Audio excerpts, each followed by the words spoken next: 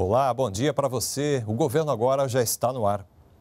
O presidente Jair Bolsonaro participou agora há pouco da entrega da primeira etapa do projeto Belém Porto Futuro.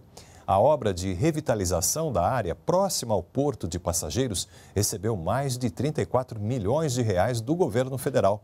O parque conta com espaço de exposição, shows, quiosques e levou em conta a sustentabilidade e acessibilidade.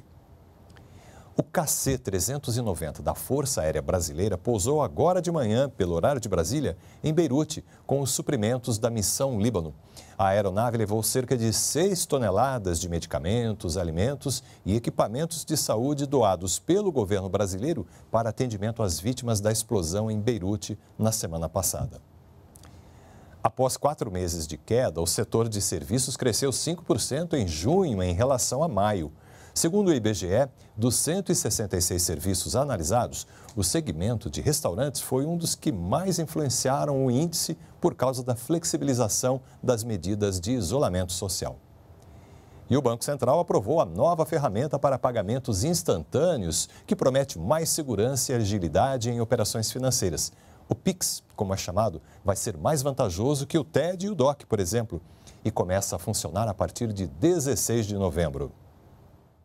Com o novo sistema, vai ser possível fazer pagamentos ou transferências de contas físicas ou jurídicas a qualquer hora do dia e até nos fins de semana e feriados. E o dinheiro entra ou sai da conta na mesma hora, em até 10 segundos.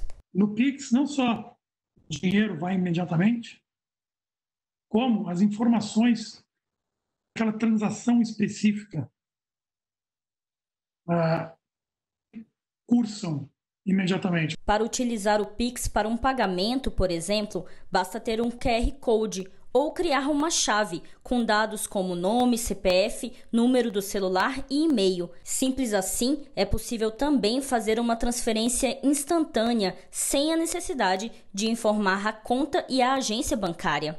Os bancos serão os responsáveis em disponibilizar a tecnologia do Pix. Além da agilidade e segurança, outra vantagem do sistema é econômica. Não haverá cobrança de taxas para os pagamentos de contas por meio do Pix nos casos de pagador e recebedor serem pessoa física. E os bancos também vão gastar pouco para efetuar a movimentação financeira.